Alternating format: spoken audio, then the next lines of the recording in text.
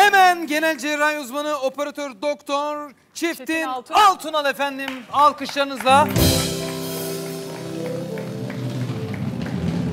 Hocam hoş geldiniz. Hoş bulduk. Nasılsınız? Buyurun alalım Hoş sizi. geldiniz. Hoş bulduk. Nasılsınız iyisiniz? Teşekkür ederim. Sizleri sormalı. Teşekkür Biz ediyoruz. iyiyiz. Hemen sorularımıza girmek istiyoruz hocam. Tamamdır. Neden kilo alıyoruz? Obezite kader mi? Şimdi aslında hepimiz biliyoruz gerçekleri de kabul etmek istemiyoruz. Ya çok yiyoruz ya az hareket ediyoruz. Gayet basit aslında olay. Aa, ya çok yiyoruz ya, Ya az hareket, ediyoruz. Şimdi bu ikisini düzene sokup e, ben yine de kilo alıyorum. Hormonal bir bozukluğunuz yoksa çok olası değil. Veya kullandığınız bir ilaçla alakalı bir yan etkiden dolayı kilo almıyorsanız, steroidler böyledir, kortizon dediğimiz ilaçlar. Bunları almıyorsanız kesinlikle ya dediğim gibi az hareket ediyorsunuz ya da çok yiyorsunuz. Bunun başka bir açıklaması olamaz. E, çünkü enerji dengesidir. Peki E, genetik olabilir mi? Genetik şöyle aslında genetik olamaz eğer hormonal bir geçişten bahsetmiyorsak. Ee, orada beslenme e, düzeninin yanlışlığı. Şimdi anne yanlış besleniyor, e, çocuğun da yanlış besliyor. Doğal olarak anne kilolu, çocuk da kilolu. Ee, bir de çocuğum hiçbir şey yemiyor mantığı var tabii biliyorsunuz. Çocuğun ağzına illa bir şeyler tıkıştıracağız. İhtiyacı varsa yiyecek zaten çocuk. E, bırakın o öğünü es geçsin bir sonraki öğünde zaten acıkırsa Acıkınca yiyecek. yiyeceksin. Ama zorla alıştırırsanız siz şimdi buna ondan sonra çocuk hep makarna nerede, pilav nerede, ekmek nerede demeye başlıyor. Ve problem de başlıyor tabii ki. Hocam peki bu mide botoksu son günlerde çok moda. Benim de birçok arkadaşım oldu. Ama sonrasında mesela kilo alanlar da oluyor. Şimdi şöyle, eee, şimdi Demet'in sihirli lambası var diyelim. Tamam. Eee, siz çıktınız ve dediniz ki dile benden ne dilersen kilo vermek için ama eee, ben de eee, sizden dilekte bulunacağım kilo vermek istiyorum. Ne isterim? Sizden iki şey isterim aslında. Bir, çabuk doymak istiyorum. Ben doymuyorum o yüzden bir türlü kilo veremiyorum dersiniz. İki, o hamur işlerini, tatlıları, çikolataları, pastaları görünce gözüm dönüyor. Ne olur beni bundan kurtarın dersiniz. İsteyeceğiniz budur. Evet. Eee, Demet Hanım benden ne isteyecek bu durumda? Tamam ben bunları yaparım ama senden iki şey istiyorum. Bir, sağlıklı ve düzenli besleneceksin ama doyacaksın merak etme. Ee, canın tatlı çikolata pasta istemeyecek. İki, günlük hareketsiz yaşamın dışına çıkacak düzeyde bir hareketi hayatına sokacaksın. Çünkü e, dü- sürdürülebilir şeylere ihtiyacımız var. Şimdi e, sürdürülebilir olması için bir şeyin ne olması lazım? Bir, e, hayatınızın her gününde yapabilmelisiniz. Yani bugün yaptığınız şeyi eğer bundan iki yıl sonra yapamıyorsanız orada problem başlayacaktır. Haydi haftanın üç günü spor salonuna gidelim. Gidelim. Gidecek misiniz peki sonrasında? Yok kilo vereyim bırakacağım. E ne anladım ben bu işten? O zaman tekrar metabolizmanız aşağı inecek. E iştah yukarıda zaten tekrar, Tekrar kilo kilo alacaksınız. O yüzden biz ne istiyoruz? 10 bin adım e, ideal günlük e, hayatı sürdürecek adım sayısıdır. Bunu peş peşe atmanız gerekmiyor. Kimse bir buçuk saatini her gün ayırıp yürüyüşe gidemez. Ama sabah uyandıktan akşam yatana kadar 16 saat ayaktasınız. Saat başı 5 dakika yürüseniz akşam 10 bin adımı tamamlamış oluyorsunuz zaten. 55 dakika oturun 5 dakika yürüyün. Yani bu Gayet 10 bin basit. adımı bir kere de değil değil mi? Ha, Bütün gün boyu. sürdürülebilir değil bu. Yani biz bunu, bunu sizden istersek e, nereye kadar 10 bin, her gün bir buçuk saatinizi düşünsenize sadece yürüyüşe ayırıyorsunuz peş peşe. E bu olası mı? Yani misafiriniz vardır, programa gidiyorsunuzdur, işiniz vardır, Zor zor ailenize ayıracak hocam zaman vardır. Ama yapan arkadaşlar var. Bu mesela gece yürüyor. Ben sabahları Şimdi var tabii kalktım. spor salonuna bir gidiyorsunuz aynı adam aynı yerde hep spor yapıyor. Hayat tarzı olmuş. Şimdi bunu yapıyorsa tamam problem yok ama, Ama ne dediniz yapamayacaksınız. o demin çok önemli. Her saat başı 5 dakika. Yürürseniz zaten akşama e, 16 saat ayakta olduğunuzu düşünürsek 80 dakika yapıyor. Zaten 10 bin adım 80 dakikaya tekabül eder yaklaşık yürüyüşte. Güzel. Bu bana Gayet uyar basit. Alişan. Şey ama mide botoksunu söylemediniz. Tamam geliyorum oraya doğru Tamam, geliyorum. Şimdi e, ne yaptık? İşte e, Demet'in sihirli lambasından Sihirli Demet Hanım çıktı. Bizden e, ne istemişti? Ben ne istemiştim? Bir e, tatlı isteğim olmasın bir de doyayım Bir istemiştim. de hamur işleri. Evet. Ama ben Şimdi o kısımda seviyorum. biz devreye giriyoruz. Şimdi mide botoksu nasıl bir işlem? Endoskopik bir işlem. Ee, aslında yaklaşık 15 saniye içinde uyuyor anestezi ekibi tarafından. Benim işim yaklaşık 15 dakika sürüyor. Ne yapıyorum? Önce endoskopiyle yemek borusu, mide 12 parmak bağırsağını değerlendiriyorum. Oranın duvarlarına bakıyorum. Ülser yara kitle varsa işlem olmaz. Önce onu tedavi etmek lazım. Ama bir problem yok. 15 dakikalık bir işlemle botoks yapıyoruz. Sonra ne oluyor? Hastayı dinlenmeye alıyoruz. Bir e, 10 dakika içinde uyanıyor, kendine geliyor. Bir kendini yokluyor zaten. Acaba yaptılar mı gerçekten bir şey diye. Böyle bir sürü videomuz var zaten paylaştığımız. İnanmıyor hasta yapıldığına. Çünkü o an yok hayatında. Uyandınız ve bitti diyor birileri size. Ağrınız yok, sızınız yok, vücudunuzda bir iz yok, yara yok, hiçbir Ve şey yok. 15 dakika. İştah aynı duruyor. E, hiçbir şey değişmemiş hayatınızda ve 15 dakika. E, şimdi orada bir muallak bir süreç var. Ne oldu acaba? E, biz ne dersek ona inanıyorsunuz tabii. Eğer teknik ve doz planlaması ile ilgili bir hata yoksa. Çünkü bu e, birçok e, değişkenin olduğu bir şey. Şimdi düşünün e, Alişan Bey portresinin yapılmasını istiyor. Benim önüme tuval kondu, elimde kalem var, yanında da bir ressam var. Çıkacak iki sonucu düşünün. Tabii ki. Tamam.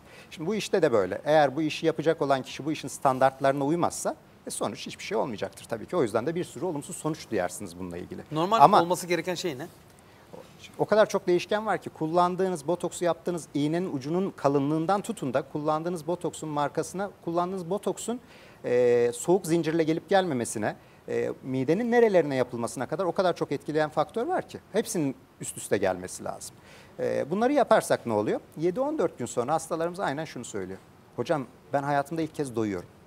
Hocam ben gerçekten e, tatlı çikolata pasta görünce e, canım istemiyor. E, dün mesela bir hastam göndermiş Revani'nin resmini. Misafirlerim gelecekti. Revani yaptım. İnanın görmek bile istemiyorum. Ay ne Aynen güzel. bugün paylaştım mesela sabah onu. Yani düşünebiliyor musunuz böyle bir durum? Niye? Çünkü gerçekten sihirli lambadan e, Peki Demet Hanım çıktı ve bunu yaptı. Estetik cerrahisi için yüze uygulanan botoksun aynısı mı? Aynısı. Ne oluyor? Doz Mide- fark ediyor tabii ki. Mideyi şeyi Şimdi midede ne donduruyor? var? Ee, şimdi açlık ve tokluk olayı şöyle. Niye acıkıyoruz? Bir, midemiz çabuk boşalıyor, acıkıyoruz. Değil mi? Yediklerimiz midemizde az kalırsa, çabuk boşalırsa mide boşalınca acıkıyoruz. İki, mideden grelin denen bir hormon salgılanıyor. Grelin vücudumuzda ne kadar çoksa o kadar çabuk acıkıyoruz. Allah Allah. Evet. Ee, üç, kilo aldıkça ne oluyor? Yağ dokumuz artıyor. Yağ dokumuz arttıkça insülin direncimiz artıyor. İnsülin direncimiz artınca ne oluyor? Tatlı krizlerimiz başlıyor. Tamamdır. Şimdi bunların hepsini e, azaltmak için bir, tokluk sağlamak lazım. Nasıl sağlayacağız? Yedikleriniz midede daha uzun süre kalırsa tokluğunuz uzar. İki, grelini azaltmamız lazım. Grelini azaltırsak ne olacak? E, eskisi kadar çabuk acıkmayacaksınız. Eskisi kadar iştahınız olmayacak. Üçüncüsü vücutta e, bir de pankreastan ve e, ince bağırsağın ikinci kısmından salgılanan başka bir madde var. Glukagon-like peptide 1 dediğimiz. Onu vücutta yükseltebilirsek o zaman da e, botoksun etkinliği artacak ve inanılmaz konforlu bir kilo verme süreci başlayacak. E, inanılmıyor, yaşanınca anlaşılıyor Evet, ne demek istediğimi. Hocam bir izleyicimiz demiş ki Tülin Hanım 36 yaşındayım obezite nedeniyle doktorlarım ameliyat önerdi ama ameliyat ve sonrasından korkuyorum. Nasıl bir tedavi? Şimdi tabii aynı Öyle şekilde yani Ameliyat biz- dediği mide ameliyatı Tüp mi? mide ameliyatından veya gastrik bypass'tan bahsediyordur. Şimdi olaya kolaydan zora gitmek lazım. Şimdi kilo vermekte eğer siz yürüyerek, e, diyetinize dikkat ederek, acıkmadan süreci yönetebiliyorsanız, sağlıklı beslenerek kilo verebiliyorsanız elbette hiçbir şeye ihtiyacımız yok. En başta bu. Şimdi bununla yapamıyorsanız haydi hemen ameliyat mı olalım? Hayır tabii ki. Olay kolaydan zora gitmeli. İşte biz orada tam orada devreye giriyoruz. Sonra botoks. Yani bize gelen hasta nasıl hasta? Hocam diyetisyene gittim. Akupunktur yaptırdım. Biyorezonans yaptırdım. Her şeyi denemiş. Hatta bazen tüp mide oldum. Yine kilo aldım diyen hasta grubumuzda var. Tüp mide sonrası da botoks yapıyoruz çünkü. Ee, ama ona rağmen olmuyor. İştahımı kontrol edemiyorum. Diyen hasta grubuyla çalışıyoruz biz. Yani zor bir hasta grubu aslında bizimki. Ama oluyor mu? Kesinlikle oluyor. Ee, sonuçlar da e, çok yüz güldürücü. Doğru yapıldığı takdirde tabii ki. Peki Sude Hanım demiş ki mide botoksu yaptırdım 7 kilo verdim ama sonra etkisi geçti kiloları geri aldım. Mide botoksu sonrası nelere dikkat etmeliyiz? İşte Şimdi- hocam bunu öğrenmek Ha, istiyoruz. e, şimdi Ne orada kadar da- etkisi ne Orada kadar durum sürüyor, şu. evet. Etki 4-6 ay sürer. Ama bu 4-6 ay boyunca bir size sağlıklı beslenmeyi öğretmiş olmamız lazım. Ha. Şimdi hiç diş fırçalamıyorsunuz. 6 ay size her gün akşam dişinizi fırçalattık. 6 ay sonra ne olur? O dişinizi fırçalamadan yattığınızda kendinizi rahatsız hissedersiniz. Değil mi? Ben 6 ay boyunca biz ne yapıyoruz? Sağlıklı beslenme programını alıyoruz. Size botoks yaptım hadi güle güle demiyoruz. 6 ay hep takibimizdesiniz. 6 ay sağlıklı beslenmeyi, yediklerinizin fotoğrafını istiyoruz mesela. Do- siz doğru biliyorsunuzdur ama yanlıştır yediğiniz şey. Siz ben protein ağırlıklı beslendim hocam ben e, dediğiniz porsiyonda yedim diyorsunuz ama aslında öyle değil oluyor e, bazen. E, hasta bakıyorum işte sebze yemeği yazmışız orada biber dolması yiyor mesela. İçindeki pirincin kalori olabileceğini düşünmüyor hasta. Şimdi bunları görerek hastadan yediklerinin fotoğrafını isteyerek geri dönüşümle e, Yeliz Hanım bu kısmı çok sıkı takip ediyor bizde beslenme koçumuz. E, bunu sağlayarak size sağlıklı beslenmeyi öğretiyoruz 6 ay boyunca. 6 ay bunu bizimle yürütürseniz zaten başta mutlaka şunu istiyoruz sizden. Günde 10 bin atım atmaya 6 öğün sağlıklı beslenmeye hazır mısınız? Bu konuda mutabık mıyız? Değilseniz zaten hiç boşuna kendimizi yormayalım. Ama buna mutabıksanız 6 ay süreci böyle yönetirseniz 6 ayda diyelim ki 100 kiloydunuz. 30 kilo verdik 70'e indik. Şimdi 100 kilo biriyle 70 kilo birinin iştahı aynı olur mu? Hayır. Olmaz. 70 kiloya indiğinizde insülin direnciniz de gerileyecek. E, mideniz de elastik bir organ. Küçük porsiyonlar yerseniz küçülecek. E, üzerine giyemediğiniz kıyafetleri giyebilmenin ayrı bir keyfi gelecek. Biri sizi gördüğünde Ne yaptın sen nasıl kilo verdin diyecek çünkü ameliyat olmadığınızı biliyor çünkü. Ee, böyle olunca bunun keyfi de üzerine eklenecek. O zaman kilo koruma kısmı ne olacak? E, biz nasıl kilomuzu korumak için işte haftanın bir günü tatlı yersek öbür günler dikkat ediyorsak burada da aynı şey olacak aslında. 7 kilo çok az bir kilo e, bu süre boyunca yani 7 kiloda insülin direnciniz de gerilemez. Hiçbir şey de gerilemez. Tabii yapılan doz dediğim gibi teknik nerede yaptırdı, nasıl yaptırdı, e, Önemli beslenmesine nasıl dikkat etti mi etmedi mi oralarını bilmiyorum.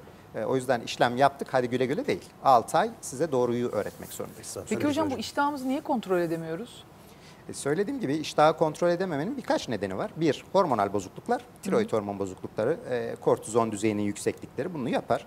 İki, kilo aldıysak zaten hani yanlış beslen, niye yanlış besleniyoruz? İşte e, uyku düzenimiz yoksa, şimdi gece 4'e kadar uyanık biri. E, elbet acıkacak şimdi akşam 7'de yemek yemiş sonra diyor ki gece yemem var. E tabii yersiniz yani 7'den 4'e kadar uyanıksanız yememeniz mümkün mü? E, siz e, 8-9 saattir uyanıksınız yemekten sonra. E, mecbur acıkacaksınız. O yüzden uyku düzeni önemli. İki öğün arasını açmak hata. Şimdi kahvaltı, e, kahvaltısız güne başlamak hata kahvaltı demişken. Şimdi kahvaltı yaptınız. Harıl harıl çalıştınız tüm gün. Akşama kadar hiç yemek yemediniz. Biz. Şimdi ne olacak? Akşam o iştahınızı nasıl Abanacak. kontrol edeceksiniz? Kim kontrol edebilir? Ne varsa abancan Allah ne verdiyse. Ha, işte buralara eğer ara öğünleri koyabilirsek veya işte sizi tok tutacak şeyleri zaten dediğim gibi bunu öğrenene kadar nedir sıkıntımız? Tamam az yiyorsunuz kahvaltınızı yaptınız ara öğün yaptınız ama açsınız yine doymamışsınız ki. Bu da problem. İşte botoksla biz bunu bu denge oturana kadar o üzerimizdeki fazla yükü atana kadar insülin direnciniz düzelene kadar biz destek oluyoruz. Bu arada kilolarımızı vermiş oluyoruz. Siz de sağlıklı beslenmeyi öğrenmiş oluyorsunuz. Şimdi sağlıklı ve 6 aydır e, aralıklı e, ara öğünlerle beslendiniz. 6 ay sonra biz bıraktık sizi. E ne yapacaksınız? Ara öğün saatiniz gelince o kadar alışmışsınız ki nerede benim sütüm, nerede benim e, bademim, nerede benim yoğurdum demeye başlayacaksınız. Bunu hayata soktuğumuz anda da zaten kiloları vermişsiniz. Ondan sonra koruma kısmı. Koruma kısmında bir problem yok. Kadriye Hanım demiş ki, bakalım. pazarlık yapmış Kadriye Hanım demiş ki 18 kilo vereceğim demiş. 18 kilo vermek için ne yapayım demiş. Mide botoksu mu? Mideye kelepçe mi? Midemin Hangisini yarısını almamı ya da ne bileyim. Şimdi kolaydan sonra yapabiliyorsa tabii ki e, sağlıklı beslenme ve fiziksel aktivite. Ona rağmen yapamıyorsa açlık krizlerimi, tatlı krizlerimi yönetemiyorum diyorsa kolay neydi? Sıradaki mide botoksuydu. Mide Mide, botoks. botoksuyla bu yapılabilir mi? Tabii değerlendirmek lazım. Kronik bir hastalığı var mı? Kullandığı ilaçlar ne? Botoksla etkileşir mi? Etkileşmez mi? Bunlara bakmak lazım. Bunlarda herhangi bir sıkıntı yoksa evet mide botoksuyla e, bırakın 18'i 48 kilo veren hastamız var 6 ay içinde. E, gayet o da mümkün. olmadı en son çare. Ee, köprüden önceki son çıkış diyelim buna. Ha tüp mide işi bitiriyor mu? Şimdi tüp mideye şöyle yaklaşırsak orada da olay bitmiyor. Nasıl olsa yemeyeceğim. Şimdi olaya siz böyle yaklaşırsanız görüyoruz ki iki yıl sonra yiyorsunuz. Tüp mideyi yapıyoruz iki yıl Mide zayıflıyorsunuz, zayıflıyorsunuz. var ya. E Tabii tabii. ya. Niye? Çünkü nasıl olsa yemeyeceğim diye yaptırdı. Ee, tamam tüp mide yapın hocam kiloları verince evet sizin söylediklerinize dikkat edeceğim. Sağlıklı besleneceğim. Bundan sonra e, kilomu verdikten sonra korumak için söylediklerinize dikkat edeceğim diyorsanız o zaman zaten tüp mideye gerek yok. Botoksla bunu yapıyoruz. Şok diyeti tavsiye ediyor musunuz hocam? Tabii ki etmiyoruz. Etmiyorsunuz amaç değil ne? mi? Amaç ne? Yani şimdi vücudunuzdaki fazla suyu atalım tartıda e, biraz daha az görünelim derdiniz. E, evet işte sporcu işte siklet belki Evet. düşme için vesaire ama şimdi sağlıklı bir hayat sürdürmek istiyorsunuz. Üzerinizdeki fazla kiloları atmak istiyorsunuz. Amacımız ne? Dört günde neyi verebilirsiniz? Hangi yağı yakabilirsiniz? değil mi? Verdiğiniz Suyu su. atıyorsunuz tabii ki. E, su atarsanız da ne olacaktır? E, ilk fırsatta hepsi geri gelecektir zaten. Yani şok diyette bir uygulama yok. Uzun dönem sağlıklı beslenme. Ama buradaki en büyük zorluk dediğim gibi açlık ve iştahtır. Bu ikisi kesinlikle kontrol edilebilir mekanizmalardır. Ben 79 kiloyla mesela yukarıda tartılıyorum, aşağı iniyorum. Bir saat yürüyorum, bir de savunma yapıyorum. Bir daha tartılıyorum, bir bakıyorum ana 77.6. Ne Boşa oldu? mı Yağ mı? yapıyor hocam? Aa, 1.4 gitmiş. Ay iyi bari. Ama yağ değil tabii su. Bu, bu. O yüzden Peki hocam bir de şey var ya metabolizmam yavaş onun için şey yapıyorum kilo alıyorum falan. Bu şeye benziyor. Biraz tembel öğrenci mantığına benziyor Değil mi? bence. Bahanesi Niye? var. Herkesin tabii bahanesi yani bu. şimdi e, baba diyor ki oğlum ne yaptın sınavdan kaç aldın? Baba öğretmen 50 vermiş. Şimdi öğretmen mi verdi 50'yi Allah aşkına? Çalışmadın sınava çalışmadın yani. Aynen. Baba çalışmadım 50 aldım diyen öğrenci yok. Burada da böyle. Yani şimdi yürüyor musun arkadaşım? E, altı öğün sağlıklı besleniyor musun? Altı yok. öğün. Ama metabolizmam yavaş. E yavaş tabii metabolizman. Hareket etmiyorsun ki. Araba orada dursun istiyorsun ama benzini bitsin istiyorsun. Yok böyle bir hayat. Mutlaka o araç hareket edecek ki benzin harcasın. Gayet basit. Ama kadınlarda metabolizma biraz daha yavaş çalışıyor değil mi erkeklere göre? Kas dokusu. Kas dokusu arttıkça metabolizmanız hızlanır. O yüzden erkekler 10 kilo verirken kadınlar o sürede 6 kilo verir mesela. Şanslıyız. Ee, bir de tabii hormonal denge var kadınlarda işte e, mens döneminde vücutta su tutması vesaire. Bu tartıyla giderseniz sadece problem olur. O yüzden hani giyemediğiniz kıyafetleri giyebiliyor musunuz? Beliniz inceldi mi bu kısım orada Bravo. önemli. Ben o tartıya çıkmaktan nefret ediyorum. Ölçülmüyorum da. Sizin dediğiniz gibi iki sene önce, beş sene önce kıyafetleri giyiyorsam mis. Bir soru vardı. Fikret Bey demiş ki 45 yaşındayım, kaza geçirdim, bacağım kırıldı. Bu nasıl süreçte kilo 40 veremiyorum. Bu süreçte 40 kilo almış ama bacağı kırılınca Evet ya. yürüyemeyince. Ne Hocam tavsiye eder? kısaca onu da alalım. Şimdi tabii burada herhalde kemik iyileşsin diye yüklendi de yüklendi e, yediklerine. Şimdi burada hareket etme şansımız yok. Evet. Mecburen bir kere dü- beslenme düzenini tamamen düzeltmek lazım. E, ilk yapılacak şey. İkincisi bacakları madem hareket ettiremiyoruz. O zaman metabolizmayı hızlandırmak için gerekirse kol hareketleri yapacağız, karın hareketleri yapacağız. E, bir hareket olduğumuz yapacağız. yerde enerji harcayacağız. Enerji harcamanın e, başka yollarını bulacağız. E, ne yapabiliyorsak, neremiz hareket edebiliyorsa oraları hareket ettirmek şart. Metabolizmayı hareketsiz- hızlandırmak zorundayız. Hareketsiz durmayalım. Peki hocam teşekkürler. teşekkür ediyoruz Vallahi güzel bilgiler için. bilgiler.